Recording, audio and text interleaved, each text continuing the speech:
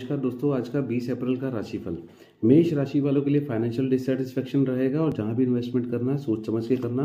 वृषभ राशि वालों के अप्स एंड डाउन्स रहेगी, लेकिन ईश्वर को समर्पित करके आगे बढ़ते जाना हर तरफ़ से पॉजिटिव रहेगा, लेकिन कोई छोटी छोटी गलतियाँ करने से बचना। मिथुन राशि वालों को नई अपॉर्चुनिटीज़ मिलेगी अनस्टेबिलिटी जो है वो खत्म होगा धीरे धीरे स्टेबिलिटी आएगी। कर्क राशि वालों को मानसिक परेशानियाँ रहेंगी, सिंह राशि वालों की, लोगों की मदद से ग्रोथ अच्छी होगी, शादी ब्याह का माहौल भी बन सकता है। कन्या राशि वालों के लिए दिल टूट सकता है और हेल्थ इश्यूज़ आ सकते हैं। तुला राशि वालों के लिए भी धोखा मिल सकता है और हेल्थ इश्यूज़ आ सकते हैं। वृश्चिक राशि वालों की ग्रोथ अच्छी होगी, लेकिन अपने एक्सपीरियंस का इस्तेमाल करके ही आगे बढ़े, लेकिन रिलेशनशिप इशू रहेगा।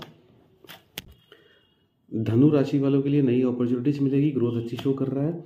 मकर राशि वालों के लिए भी नई अपॉर्चुनिटीज़ मिलेगी, और मेच्योरिटी के साथ हैंडल करना, जल्दबाजी में कोई काम मत करना।